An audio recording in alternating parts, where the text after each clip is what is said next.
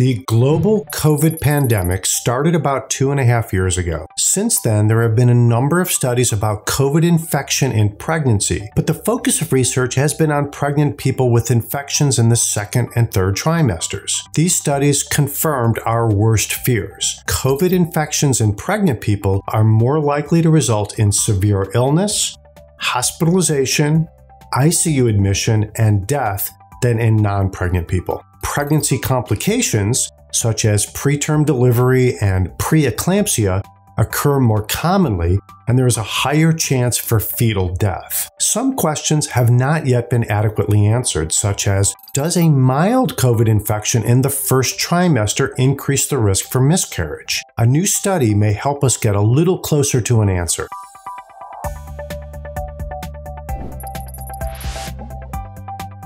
COVID 19 Contraception and Pregnancy Study, CAP COVID, was an online study conducted in the UK. People who registered early in their pregnancies were sent a questionnaire at the end of their first trimester. Participants were asked if they had an ongoing pregnancy or whether they had experienced a miscarriage, had an abortion, or some other pregnancy complications such as a tubal pregnancy. Participants were also asked whether they had symptoms of COVID infection, had been diagnosed with a COVID infection, or whether anybody in their household were diagnosed or had symptoms of a COVID infection. Based on their answers, they were divided into three groups presumed infection, presumed not infected, or uncertain. In total, over 3,000 pregnant people were studied the percentage of miscarriages in the COVID infection group was 14%. By comparison, only 8% miscarried in the uninfected group and only 5% miscarried in the group in which a household contact was infected. At first glance,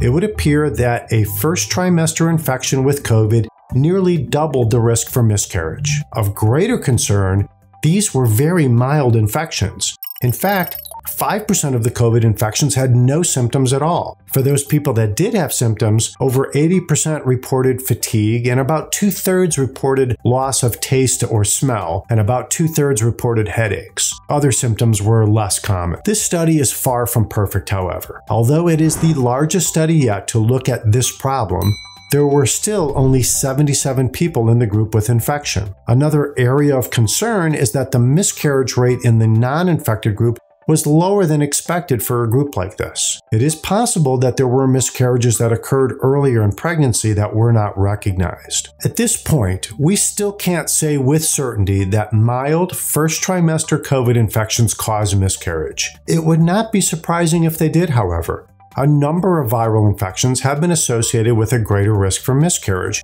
including the flu virus. A big problem with COVID is that so many pregnant people are becoming infected every few months. Even a small increase in miscarriage risk translates into a very large number of extra miscarriages. Our Infertility TV medical recommendation is this people planning to become pregnant should be vaccinated first to reduce the risk of contracting COVID. Pregnant people should take extra precautions to reduce the risk of contracting COVID, such as mask wearing, and reducing close contact with others indoors. Infertility TV is your most trusted source for accurate information on infertility and miscarriage. If you are not a subscriber yet, hit the subscribe button right now. A new episode is released every week. Don't miss any episodes. You can also check us out on our website, ivf1.com, where you can become a patient.